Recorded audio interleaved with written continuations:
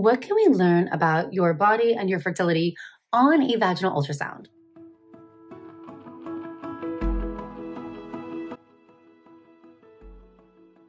Hi, friends. I'm Dr. Natalie Crawford. I'm a board certified OBGYN and REI.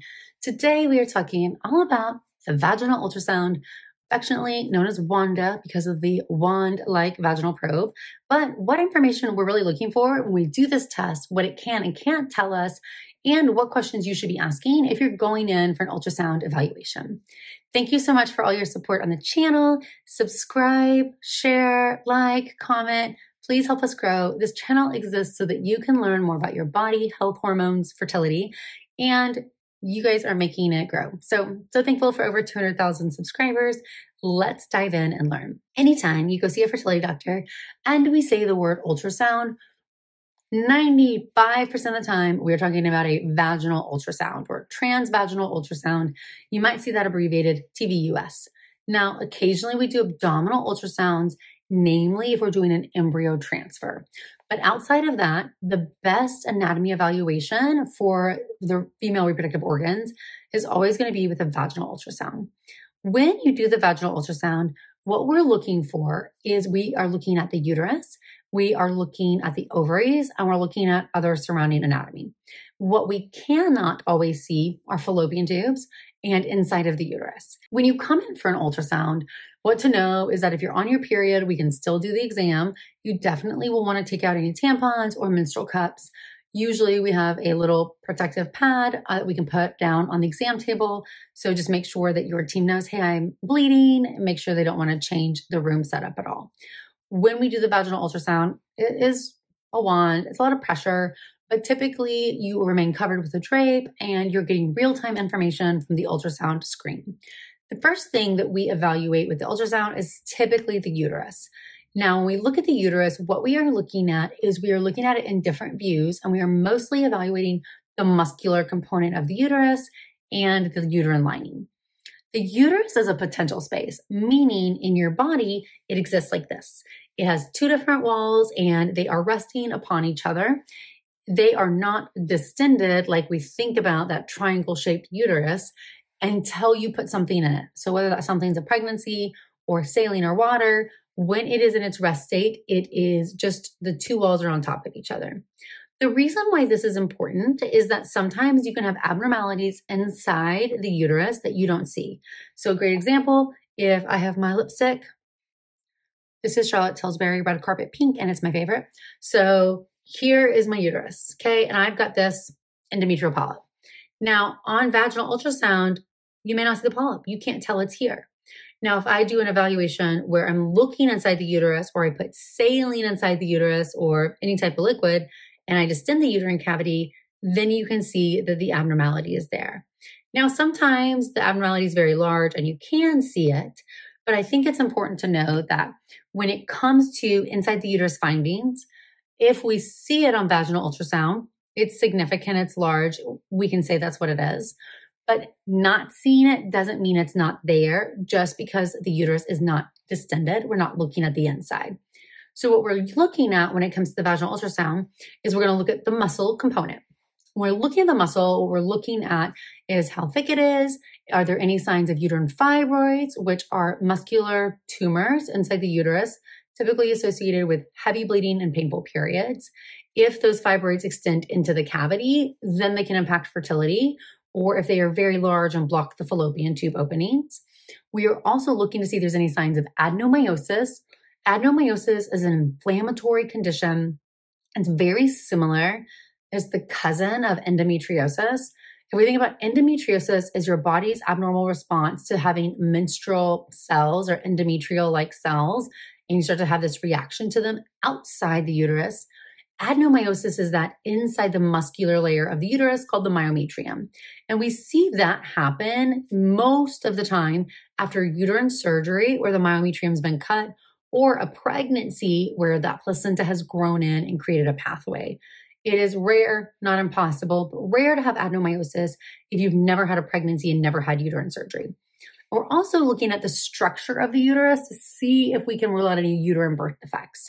Remember that the uterus actually forms as two different pieces called these horns, and they're little buds inside your body. They elongate, fuse together, and the midline portion reabsorbs, which is considered the septum. But you can have failure of fusion, partial fusion, get a heart shaped, just one side form called a unicornuate, have two totally separate sides. You can have no formation at all and not have a uterus. So you can have birth defects along many different pathways, but we are looking to see if there's any clues pointing that this could be happening on the vaginal ultrasound. And we're also measuring the lining. So where these two sides come together, we have endometrium. And the endometrium is what you shed off every month when you're having a menstrual bleed. The endometrial thickness and its texture or organization can give us some information about your body. So you may not know, but this is very organized. It's called trilaminar. You can see it in the picture, which happens when you have estrogen only. So as you get to peak estrogen, you should have a nice trilaminar uterine lining. And that is what we're measuring if we're measuring the lining for transfers. After you ovulate, the lining will compact a little and it becomes what we call homogeneous. Progesterone compacts it, it gets a little bit blurrier. And so just looking at your lining, I can usually get a sense of what phase of your cycle that you are in. But what we always want to know is, is that consistent with what it should look like for that phase of your cycle?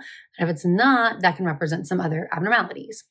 After we look at the uterus, we're going to go look at each side of the uterus. So after we look at the uterus, we're going to go look at what we can call the adnexa or where the ovary is falling. Now remember that if I have my uterus, the fallopian tubes move around and unlike in this picture, the ovaries are actually attached to what we call the pelvic sidewall and not connected to the fallopian tube. So you should not see a fallopian tube on vaginal ultrasound unless it's abnormal, unless it's distended or something's wrong with it. So we look in that area. Hopefully, I don't see any tubular shape. If I see that, I could be concerned that it's a fallopian tube, and that could be called a hydrosalpinx, which means water on the tube. It's where the fallopian tube is blocked and dilated, and that can cause a lot of pregnancy issues that needs to be dealt with. So I'm hopefully not seeing any tubal structures or abnormalities. And then I'm looking at the ovary itself. I'm looking at where it is. Does it move? If you have endometriosis or a lot of abdominal scar tissue, sometimes the ovary can get stuck back behind the uterus. So I may see that it's really far away from where I'm looking, but hopefully the ovaries move around. They're not stuck anywhere. I'm also looking at your follicle count. So, how many eggs do I see? Do I see a dominant or functional follicle based on where you are in your cycle? And do I see any abnormal cysts? Remember that I like to use the analogy that every month you have a group of eggs inside the vault in your ovary. These eggs come out of the vault, and the number of eggs that are outside the vault is proportional to how many remain. So, an average 30 year old would have about 20 eggs outside the vault, an average 40 year old might have eight. And those are normal numbers but everybody's born with a different amount and run out at a different pace. So we want to know what this is for you. And that is called an AFC or an antral follicle count because each egg is small and microscopic, but it grows inside a fluid filled follicle. We can look and get a follicle count and get an idea if your ovarian reserve or how many eggs are inside the vault, if that is average, above average, below average, or concerning. So I'm gonna get a follicle count depending on where you are in your cycle, I might see the one egg that is growing, and that can be a cyst. A follicular cyst is a normal functional cyst. So, this is a cyst that's growing the follicle, growing the egg.